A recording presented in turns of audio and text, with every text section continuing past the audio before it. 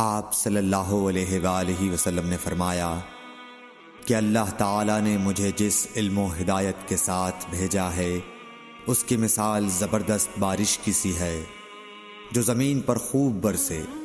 बाज़ ज़मीन जो साफ़ होती है, वो पानी को पी लेती है और बहुत बहुत सब्ज़ा और घास उगाती है। और बाज़ ज़मीन जो सख्त होती है, वो पानी को रोक लेती है इससे अल्लाह ताला लोगों को फ़ायदा पहुंचाता है। वो इससे सैराब होते हैं और सैराब करते हैं। और कुछ और ज़मीन के बाज़ ख़त्ों पर पानी पड़ता है, जो बिल्कुल चटियल मैदान होते हैं।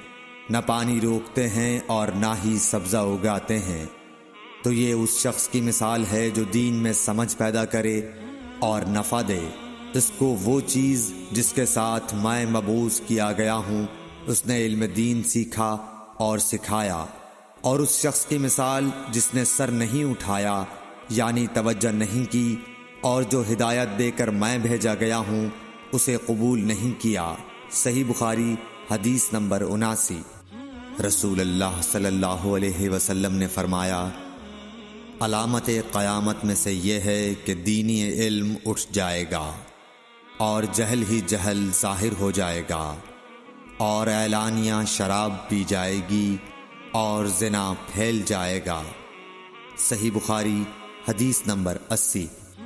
रसूल अल्लाह सल्लल्लाहु अलैहि वसल्लम ने फरमाया कि अलामत क़यामत में से ये है कि इल्म दीन कम हो जाएगा, जहल ज़ाहिर हो जाएगा, जना बकसरत होगा, औरतें बढ़ जाएँगी और मर्द कम हो जाएँगे।